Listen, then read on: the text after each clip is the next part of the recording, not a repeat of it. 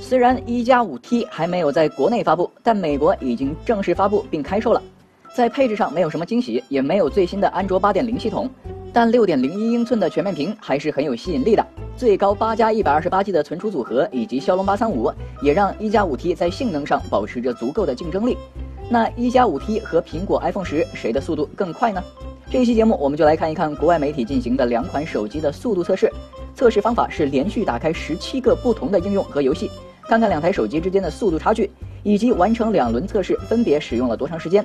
第一轮测试中，一加五 T 大部分应用的启动时间都领先 iPhone 十，但在最后运行 4K 视频渲染时，手机的速度明显变慢。而此时的 iPhone 十已经追赶上来，并超越一加五 T，最终领先约四十秒完成第一轮测试。